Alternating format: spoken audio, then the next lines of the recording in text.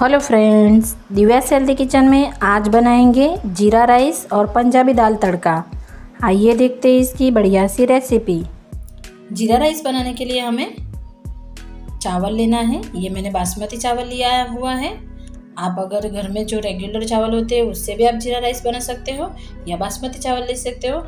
ये मैंने आधा किलो बासमती चावल लिया है। इसे अच्छे से वॉश करके अब इसे हमें आधा घंटा तक भिगो कर रखना है। भिगो कर रखने से हमारा दाना खुला खुला बनता है और राइस भी अच्छा बनेगा। हेलो फ्रेंड्स मैं दिव्या दिव्या में आप सभी का स्वागत करती हूँ। अब सबसे पहले हम जीरा राइस को बना लेते हैं जिसके लिए मैंने एक बड़ी कढ़ाई ली है। इसे गरम कर लिया है और गैस की फ्लेम हमें मीडियम स्लो रखनी है। अब इसके अंदर एक चम्मच जितना मैं एक बड़ा चम्मच जितना घी को ऐड करती हूँ। घी की जगह पर आप ऑयल का भी इस्तेमाल कर सकते हो या बटर भी ले सकते हो। अब घी हमारा अच्छा गर्म हो गया है।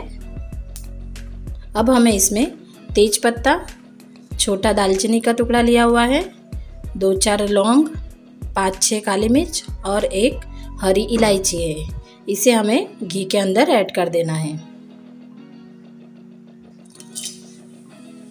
अब हमें एक बड़ा चम्मच जितना जीरा ऐड करना है।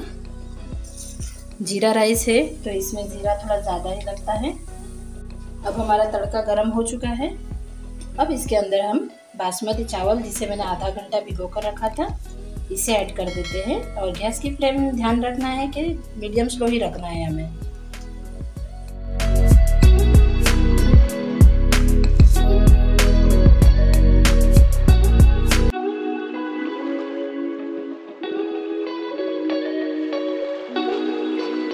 अब राइस को ऐड करने के बाद हमें बासमती चावल को इसके अंदर अच्छे से मिक्स कर लेना है।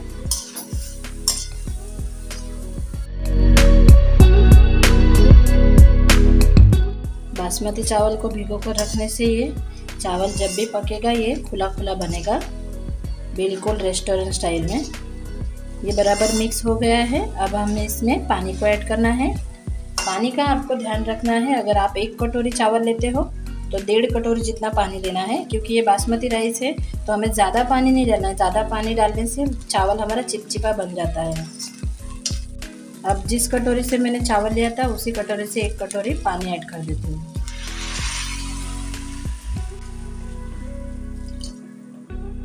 पानी को ऐड करने के बाद इसके अंदर हम स्वाद के अनुसार नमक को ऐड कर देते हैं। अब इसे थोड़ा सा चला लेते हैं।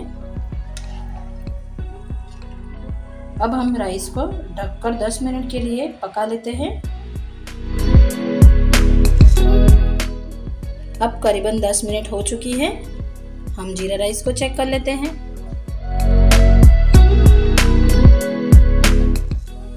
देखिए फ्रेंड्स, कितने बढ़िया दिख रहे हैं हमारे जीरा राइस।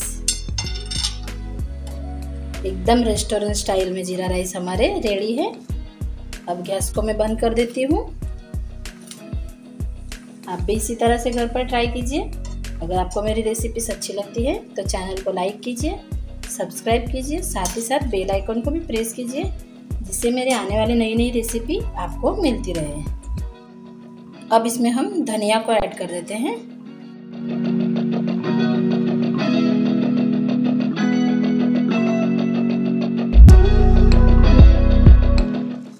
इसे अच्छे से मिक्स कर लेना है।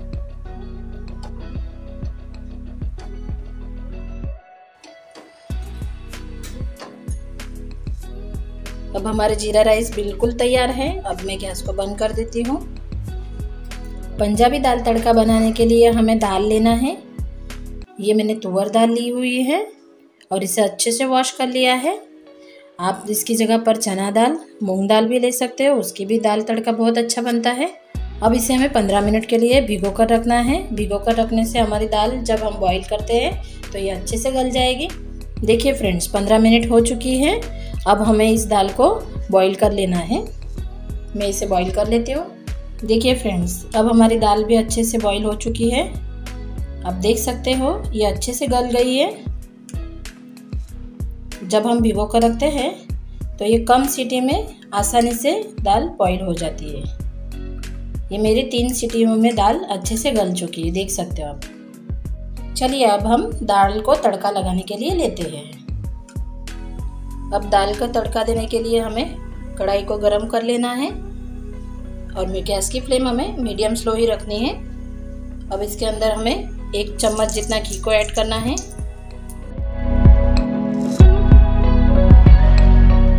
घी हमारा गरम हो चुका है।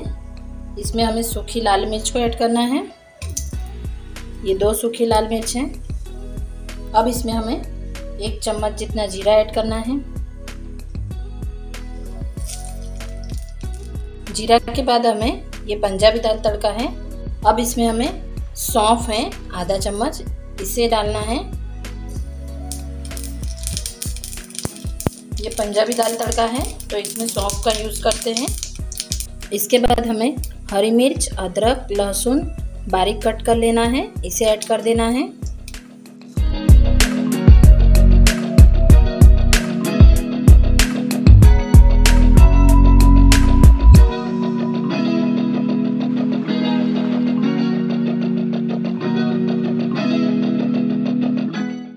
अब इसमें फ्रेश करी लीव्स को ऐड करना है।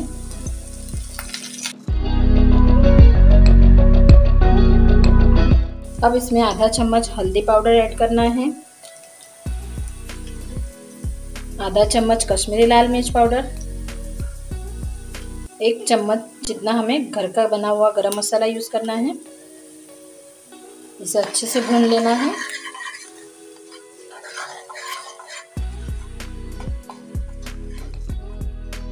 अब इसमें हमें दाल को ऐड कर देना है।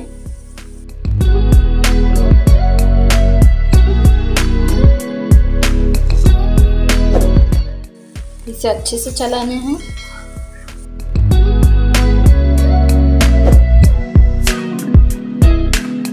अब सबसे लास्ट में इसमें हमें स्वाद के अनुसार नमक को ऐड करना है।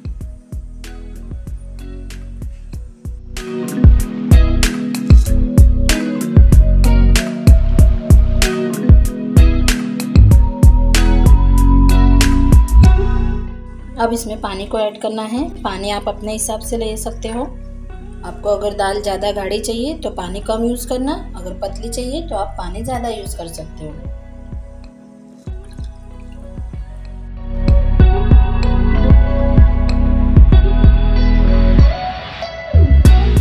अब इसे हमें दो तीन बॉईल होने तक इसे पका लेना है। अब हमारी पंजाबी दाल तड़का रेडी है। देखिए गैस को बंद कर देना है। अब इसमें हमें धनिया ऐड कर देना है।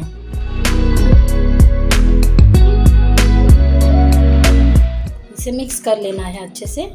अब इसे मैं सर्विंग बाउल में निकाल लेती हूँ।